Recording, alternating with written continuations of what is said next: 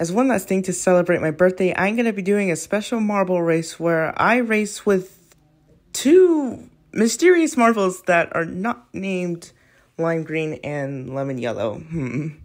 What could they be? What could that be all about? Someone knows. Anyways, I'm just gonna refer to them by the colors while I, SC, am just SC myself. Anyways, let's go ahead and begin this short special race.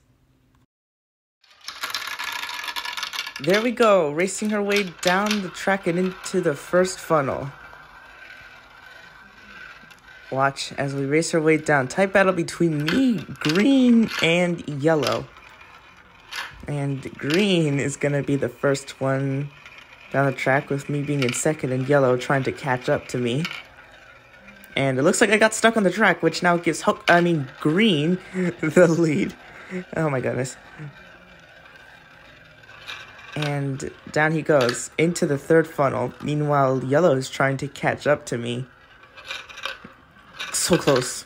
But she's she's look at the last marble, and he looks like, yes, he's going to win the race. I'm at the marble that's in the lead, with me being in second place and the yellow marble in third. Second place, second place is good enough for me for my birthday.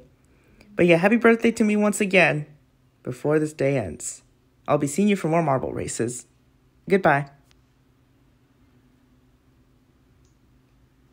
Oh, you might be wondering who was peeking at the intro. Some of you might have been confused about that.